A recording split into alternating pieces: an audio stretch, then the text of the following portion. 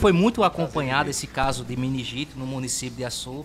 Né, se criou um, um, uma situação, e é claro, é, é, compreensível em relação ao caso, principalmente porque o primeiro caso ele veio a, a óbito, né? Infelizmente ele veio, ele veio a óbito.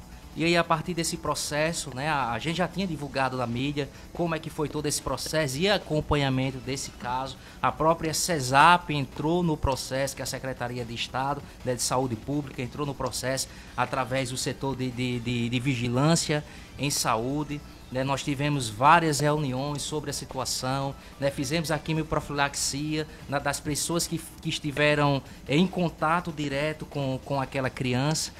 Estamos acompanhando essa, essas pessoas, nós temos a lista e até agora nenhuma dessas pessoas vieram a, a, a, a ter um caso, um, mais um novo caso confirmado no município. Graças a Deus, né, uma situação que está controlada.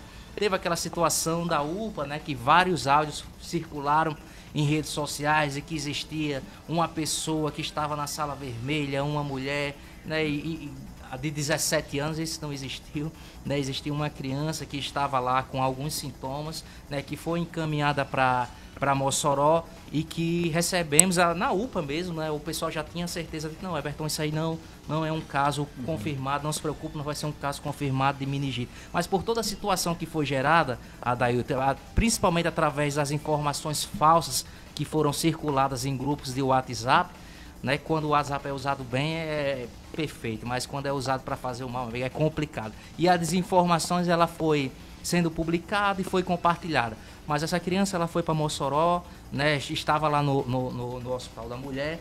Mas aí é um caso que foi descartado. Não existe confirmação de meningite e hoje nós não temos nenhum caso suspeito de meningite no município de Açu.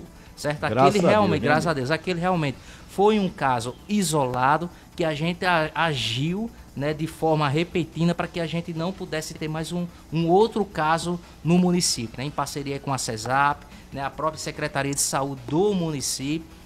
O prefeito doutor Gustavo esteve sempre também nesse, nesse processo, perguntando como é que estava. Inclusive, ele gravou um vídeo tentando tranquilizar a população em relação, como médico, né, claro, tentando tranquilizar a população em relação a essa, a essa situação, mas hoje nós não temos nenhum caso suspeito nem confirmado de meningite no município de Açúcar. É, Everton, essa só uma, uma pergunta aqui que eu nem sei se tem resposta para isso. Acredito que ainda não, ou não, talvez não tenha.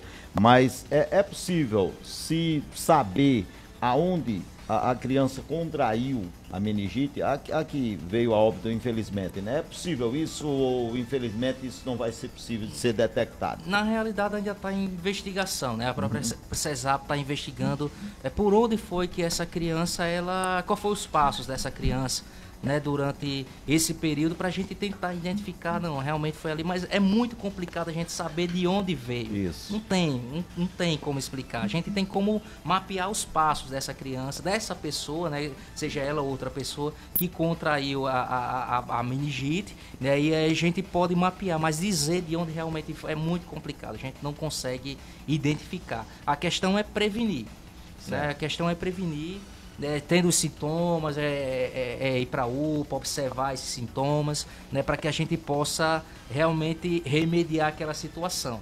Né, transferir para Mossoró para que a gente possa ter um, um local que consiga observar a, a, a, saúde daquela pessoa, entendeu? Para que a gente não tenha mais um caso de meningite no município. Se Deus quiser, não vamos ter. Não, não vamos. Não, não vamos, vamos ter, não se vamos. Deus quiser. Inclusive, em relação a esse processo, Diana, né, que foi entrevistada, ela esteve aqui com a gente. Diana, que é coordenadora é, do CESAP, Estado, né? da, da, Vigilância em Saúde uhum. da CESAP.